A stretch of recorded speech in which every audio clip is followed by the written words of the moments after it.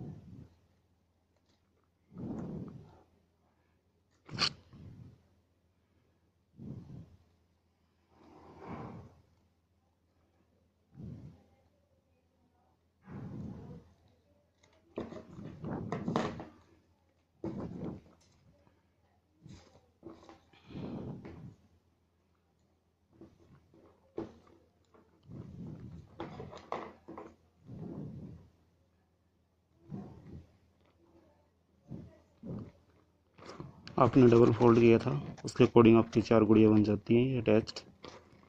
तो आपने इसकी प्रैक्टिस करनी है